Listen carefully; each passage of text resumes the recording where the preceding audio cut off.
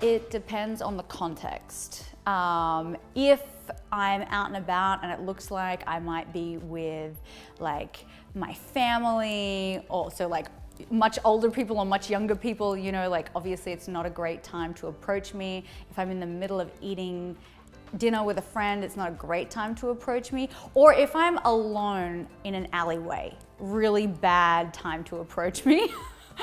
um, but you know, if I'm out shopping and it seems like I wouldn't feel like I'm trapped in a corner and I feel safe and you come up in a really approachable way and a very you know, friendly, then yeah, you come up and say hello.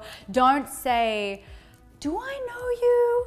Because I'm all, I'm gonna be like, probably not. Not because, like, because my reaction is I look at you and I'm like, I don't think I know you. So my answer is no. So if you know who I am, you don't have to be coy like that. You can just say, I love your work. That's the best line. I love your work. And then if you were in a public place and it's not appropriate to, you know, say certain things, I love your work says it all.